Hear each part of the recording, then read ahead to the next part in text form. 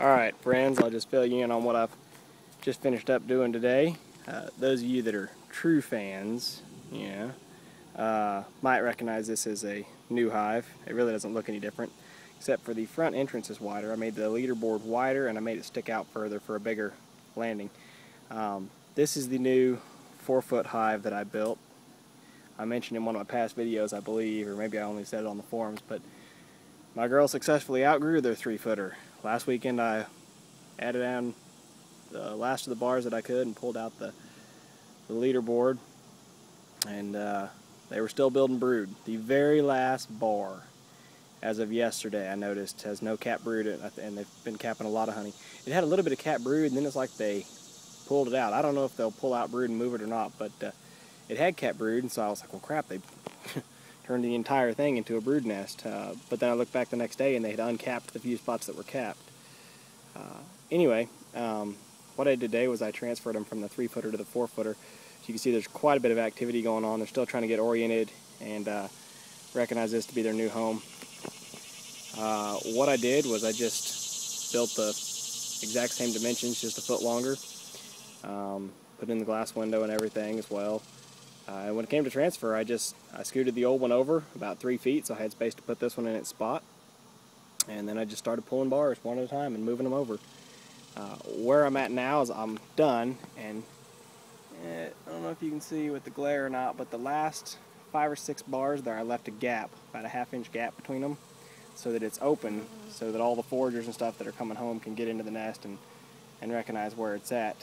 Uh, and that's partially why there's so much activity too. The foragers are getting reoriented because I actually had moved to the other one over here uh, about noon, and then ended up having to go doctor's appointment, run some errands, and so the old one actually was moved for a couple hours, and so they got used to where it was sitting. You know, they got all frustrated when I moved it, and they got used to where it was.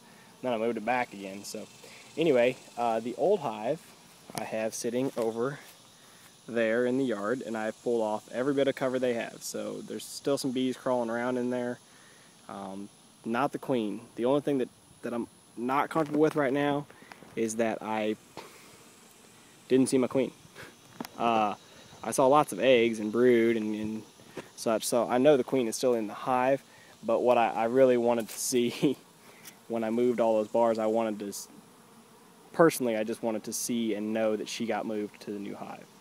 Um, there on top of the hive, that is the old entrance cover off the original hive and uh, I worked from the back forward so when I got done moving bars over there was a lot of bees clustered still in that entrance. And so I thought well Queen must have ran in there you know she must have just moved her way through the hive as I was going through smoking she probably went into there. So for a long time I had both hives sitting here front to front with a little bridge across and I was smoking in the old one trying to get the bees to run across the bridge which you know that did not work. But uh, finally I just pulled that cover off thinking that you know, the queen might be inside there, but when I pulled it off, there wasn't very many bees inside of it, and I didn't see the queen inside of it.